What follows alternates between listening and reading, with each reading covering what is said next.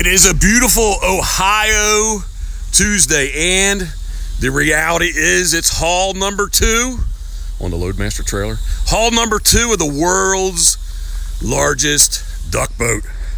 It's a reality. It is a reality. Steve Hoover. Jeff Sir- Coats, how are you, sir? I'm doing well, man. I'm excited. I can't wait to get back to Maryland.